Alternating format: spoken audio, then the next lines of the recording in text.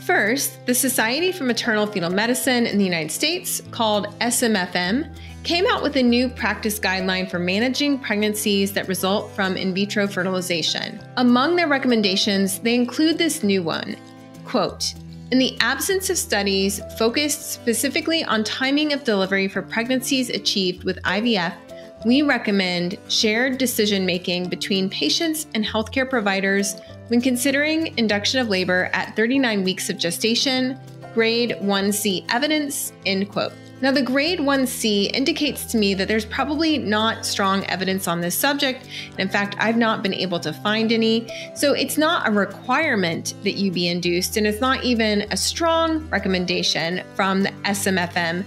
But you'll probably see a lot of providers recommending 39 week induction. A literature review was also published in 2021 on this subject.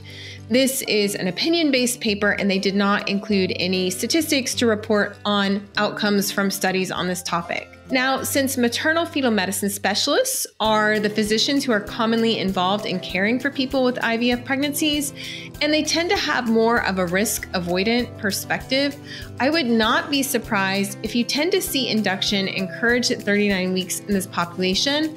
But as I've said before, I've yet to see a randomized controlled trial on this subject.